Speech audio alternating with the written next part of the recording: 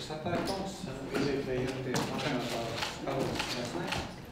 Your Excellency, Mr. Ambassador, please. Mr. Speaker, Nice to meet you. Lovely to see you again, and, and lovely to be able to meet you in your new capacity. I'm, I'm always happy to meet you.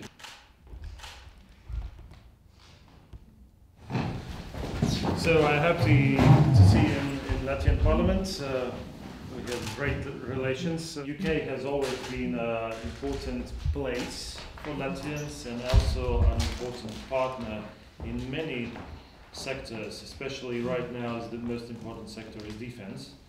And uh, I, I- I think I could say proudly that uh, Latvia is trying to do so, but UK has shown from the very first second of the uh, Russian aggression in Ukraine uh, lead by example.